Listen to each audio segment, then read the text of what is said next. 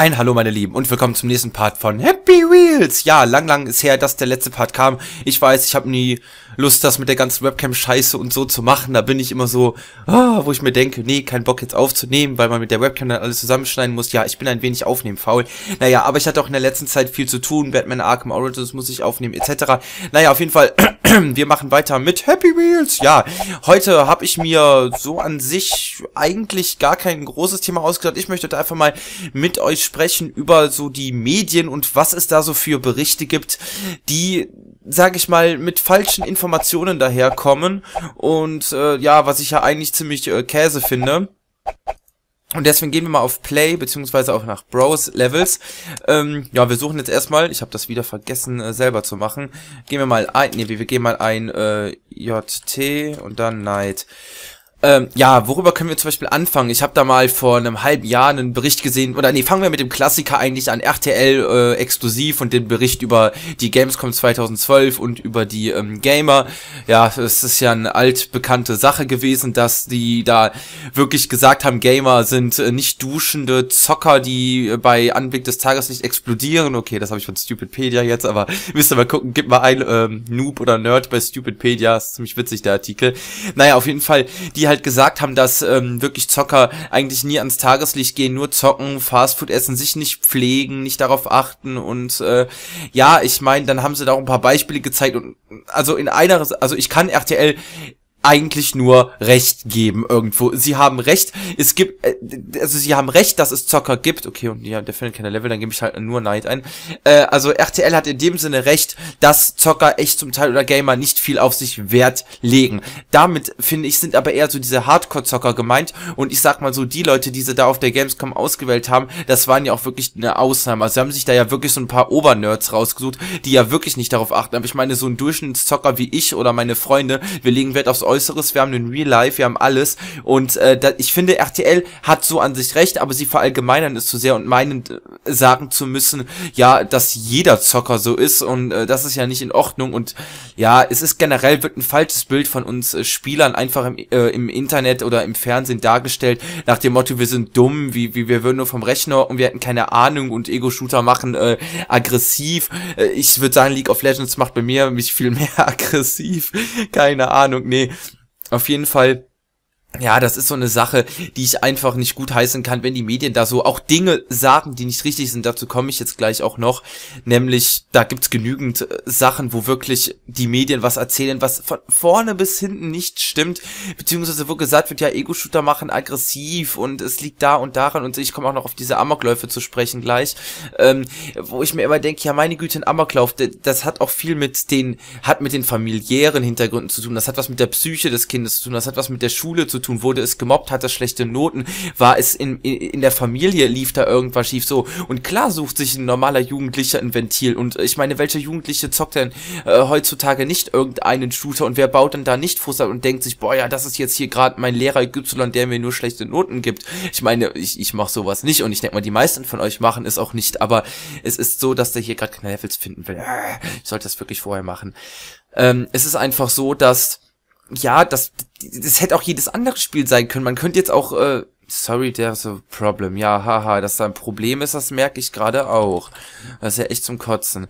Äh, ich suche jetzt nochmal. Und, ähm, ja, wo ich einfach sagen muss, ich meine, es kann ja, es kann ja nicht sein, dass, ähm, ja, ich meine, das könnte auch genauso anders Spiel sein. Was ist denn jetzt, wenn irgendwann mal jemand bei äh, My Little Pony dann das gezockt hat? Wird dann auf dem Rechner, ich wette mit euch, wenn man auf dem Rechner von einem Amokläufer guckt, dann das ist da bestimmt auch ein Spiel, sagen wir jetzt mal My Little Pony, 85 Stunden gespielt, ein Ego-Shooter 300 Stunden. Ja, der war auch My Little Pony süchtig. Vielleicht hat er ja gedacht, die pinken Ponys, die muss man jetzt alle töten. Keine Ahnung, irgend so eine Kacke, die ich mir gerade aus dem Hirn, äh, aus, aus dem Hirn denke. Oh Gott, ja, mein Deutsch, ne?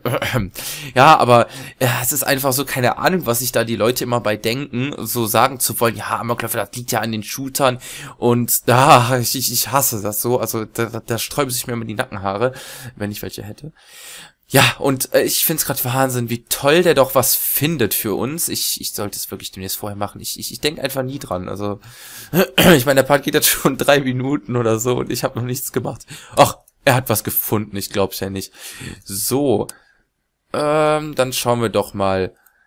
Wie gesagt, ich hatte euch ja gesagt, ihr solltet das reinschreiben.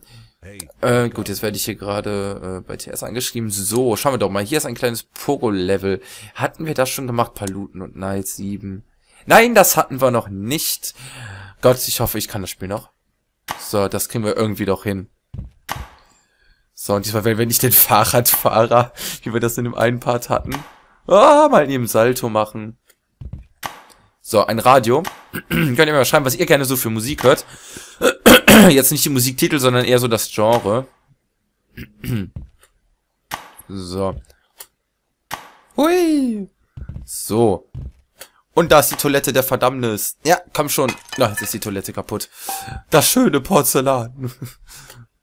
weil ich so kreativ bin, ja. Weil du so blöd bist, weil du eine Frau bist, weil du nicht blond bist. Mann, ich bin echt nett zu meinen Abonnenten. Ey, komm schon. Geht doch. So. Und hui. Ja, Victory. Super gemacht, Laura. Interessantes Level. Und ja, kommen wir jetzt einfach mal auf RTL noch zu sprechen. Beziehungsweise diese Berichte. Es wird dann immer erzählt, ja, Jugendliche verdummen durch die Medien. Okay, wenn man sich mal das Nachmittagsprogramm auf RTL und Sat1 und so anschaut, dann kann man da auch eigentlich nur sagen, sie verdummen. Aber wenn man generell danach geht, äh, ja, es ist verdummend und ach warte, ich glaube, ich suche uns erstmal ein neues Level aus. Night sucht. Ich hab, weiß ich auch nicht mehr, das kein Tipp. Auf die Leertaste hast du einen Boost, aber eigentlich brauchst du den nicht. Gut, machen wir das Level doch mal. Okay. Ha! Da, ich hab ein Bein verloren, cool. Ach man, Laura, du bist so unverschämt zu mir, du verspottest mich nur. Du bist so blöd, ich mag dich nicht. ähm, ja, auf jeden Fall ist halt so dumm durch RTL dann wird oder ich will gar nicht RTL sagen, äh, sonst nee, sondern generell durch diese Sendungen wie auch bei Frontal 21, wo dann gesagt wurde, diese Free-to-Play Spiele ähm, Pogo Jump Night, ist das jetzt für mich? Pogo Jump Night, das könnte gut für mich sein. Ähm, wenn dann auch so gesagt wird, ja, Free-to-Play-Games sind Abzocke, da hat dann, ich meine, ich, ich, ich schicke euch einen Link äh, von dem Video von, von, von Tal 21 rein, von wegen, also was da drin stand. Äh, also auch den, ja, den Bericht, Leute, meine ich. Und äh, ja, was zum Teufel? Leben wir noch? Wir leben noch? Cool, YOLO. Was auch immer da jetzt gerade schief geht. was war das? Komm schon, komm schon. Scheiße. Ja, ohne Beine lebt sich's gut. Naja, ob wir das jetzt nochmal schaffen? Diese Beine sind eingequetscht. Ah! Mann, komm schon. Ja! Nicht, nein, scheiße. Komm schon.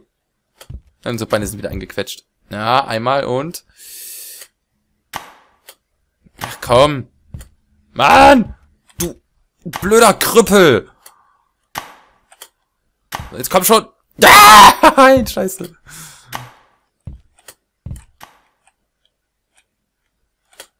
Ja, komm schon. Ja, nee, das machen wir nochmal, das Level Restart.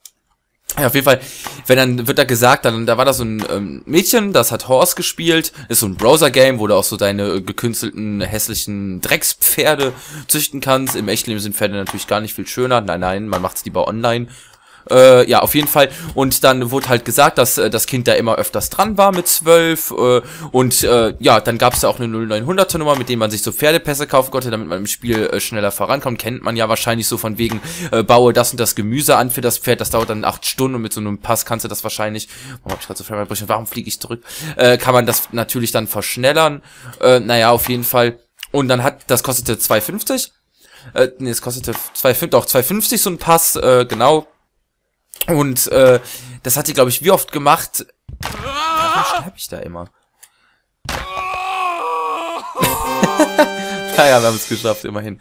Ähm, da wurde dann, glaube ich, gesagt, oder so ein Pferdepass kostete zwei Euro und das hat die dann 250 Mal gemacht oder so. Da keine Ahnung, wie oft, ich weiß es auch nicht genau.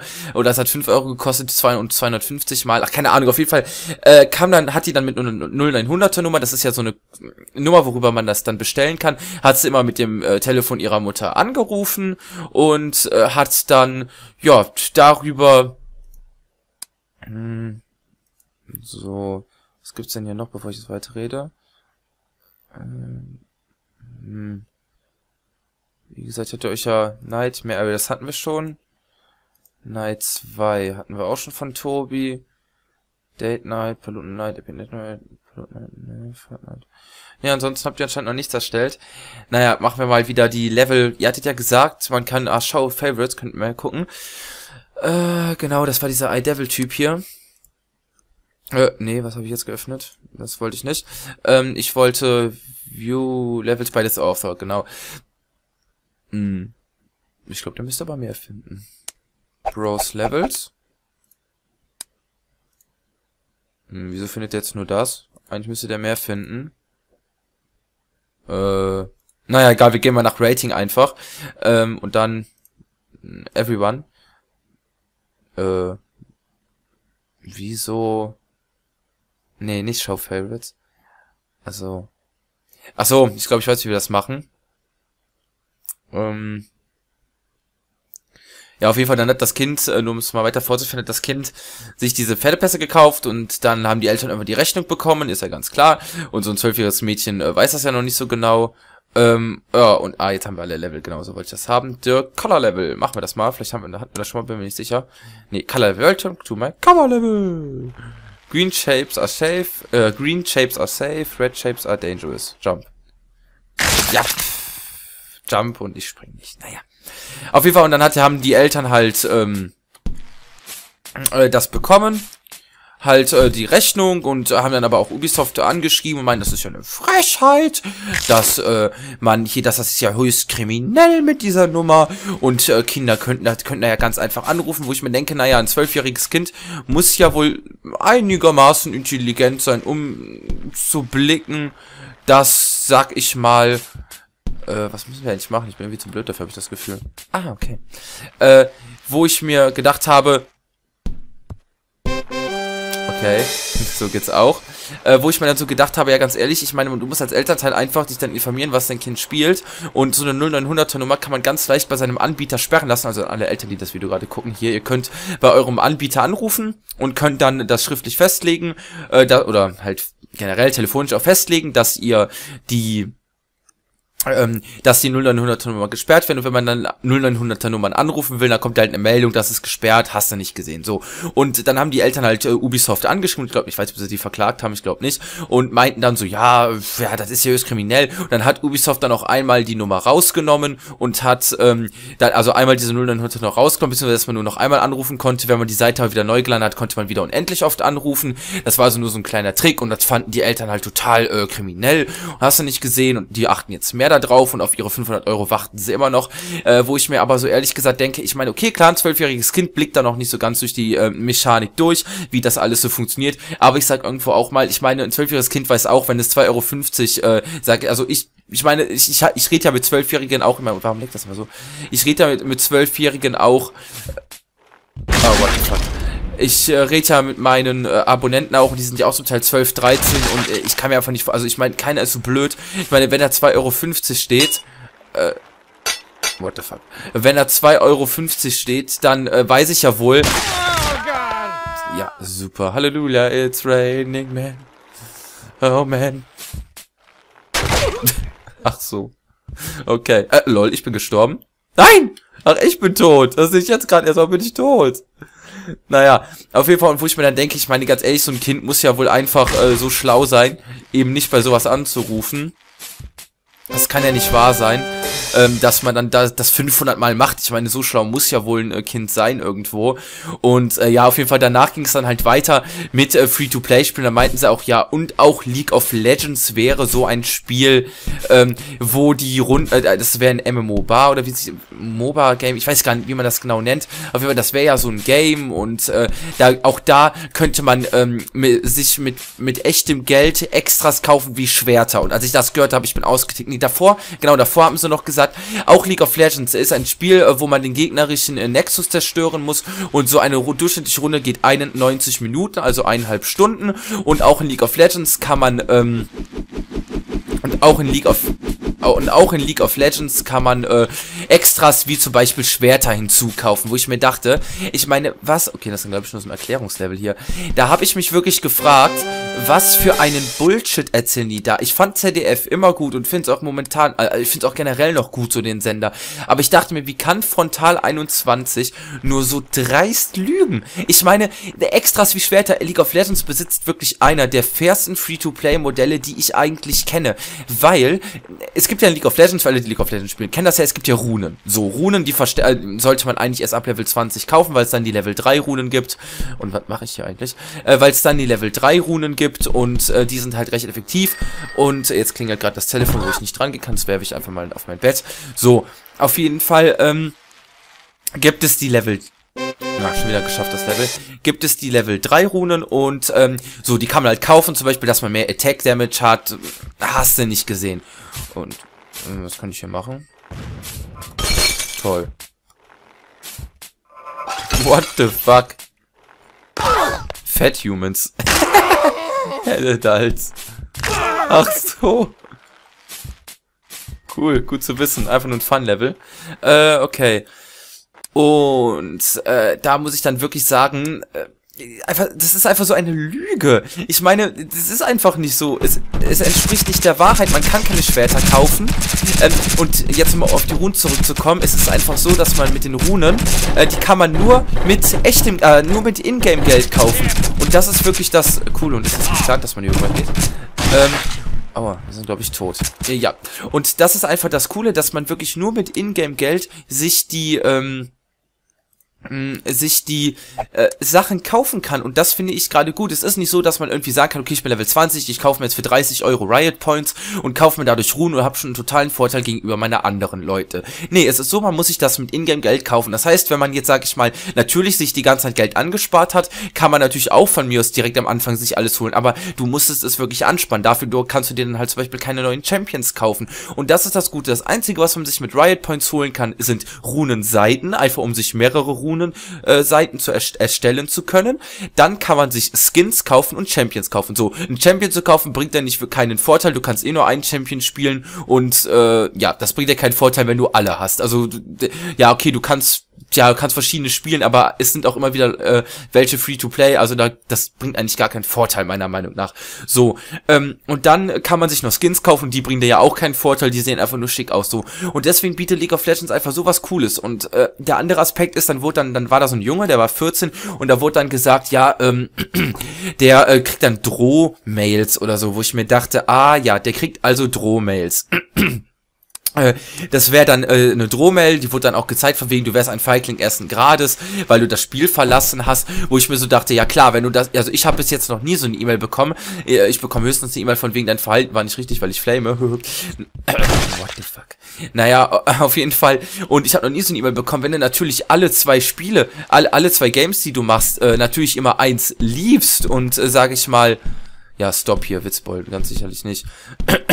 wenn ich, wenn man dann natürlich von äh, zwei Games immer eins lieft, ist das ja ganz klar, dass der Riot irgendwann sagt, ähm, hier, Kopf ab. Äh, dass sie dann irgendwann sagen, du bist ein Feigen ersten Grades und das ist ja auch nur eine nett gemeinte E-Mail. Riot ist jetzt nicht so, dass du da äh, direkt gebannt wirst. Also da musst du schon echt, ah, komm schon, äh, viel für machen. Also ich wurde schon so oft, äh, habe ich, sag ich mal, eine Mahnung bekommen, wegen, dass ich geflamed habe, aber man wird so schnell nicht gebannt, meiner Meinung nach. Und die alle, die mir jetzt was anderes erzählen, ja, tut mir leid, dann ist bei euch etwas schief gelaufen, aber nein, nein, nein, nein, ich muss warten. Nein, scheiße. Oh, na, ist nur mein Bein. Ah, ist nur mein Arm. Wow, oh, oh, oh, oh, ja, wir haben es geschafft, super. Und geschafft. Jawohl. Klasse. Und da muss ich dann wirklich sagen, der arme Junge, auch vor allem wie der gemobbt werden muss. Ich meine, äh, der erzählt da irgendeine völlige Scheiße. Das ist doch einfach... Was muss ich jetzt hier machen? Ach so, na, das ist wieder... What the hell?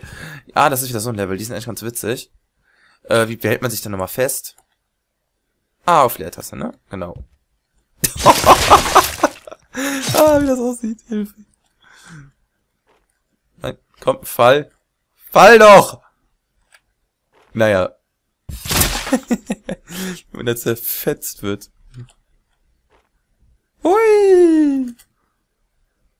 Ah, ah, ist nur mein Arm, Leute. Ist nur mein Arm. Wei! Ja, das hat geklappt.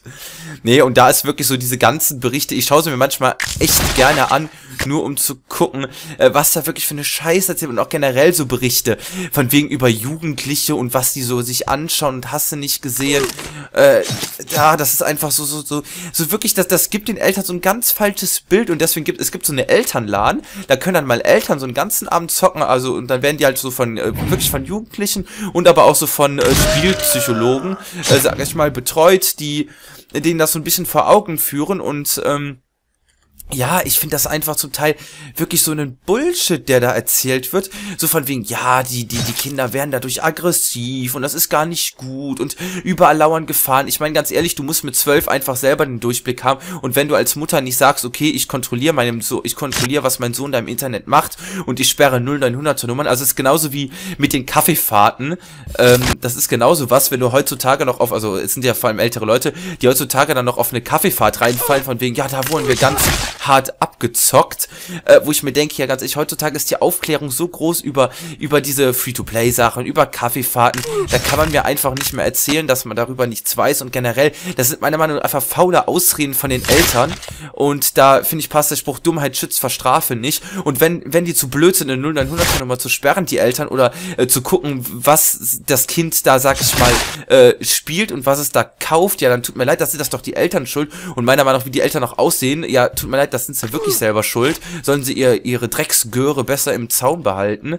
Äh, und ja, ich, ich sag das ziemlich hart, aber ich habe dafür einfach null Verständnis, wenn, sage ich mal, Eltern, die einfach null Ahnung haben von irgendwas, was in, dieser, in diesem Bereich abläuft, meinen, dann so in so einem Video auftreten zu müssen, als ob sie hier die größten, äh, als ob sie die größten Betrugsopfer geworden wären, weil ihr armes, armes Kind äh, über eine 0900 Nummer mit zwölf Jahren zu blöd war zu blicken, dass das irgendwann auch auf die Rechnung der Eltern kommt und äh, dann natürlich auch irgendwann Konsequenzen haben wird. Aber nein, es ist natürlich Ubisoft schuld. Die armen Leute bei Ubisoft, die wollen ja auch nur ihr Geld verdienen. Wie können die es nur wagen, in der heutigen Zeit sowas zu machen, ne? Leute, also wirklich, wie geht das nur?